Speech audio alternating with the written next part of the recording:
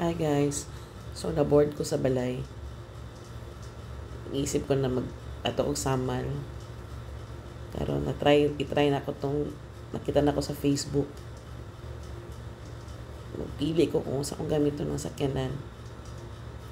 Si Colgate ba, si Mika, or si Fino.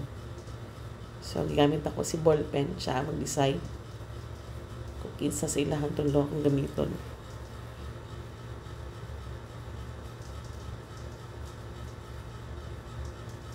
Kana kay Colgate, Mika, Fino. Usad na po guys, man do. Okay, so si ano, Colgate jud iya nga pili. So tara. Bari sa itong ballpen. Karon, kaya kaya akong bag kay wala ko laing bag kundi subag ang gamit. So, mo na si Colgate, mo to si Mika.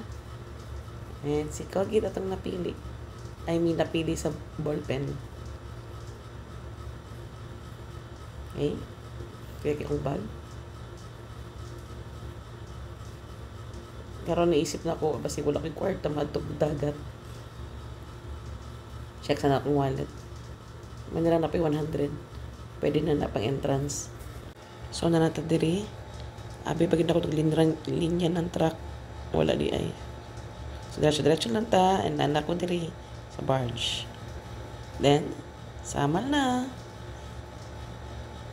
Nata diri. Tanan! Nice kag ambience diri guys. Ang tent, tag 200. Kung naamoy tent, 300 ang core cage. O, di ba?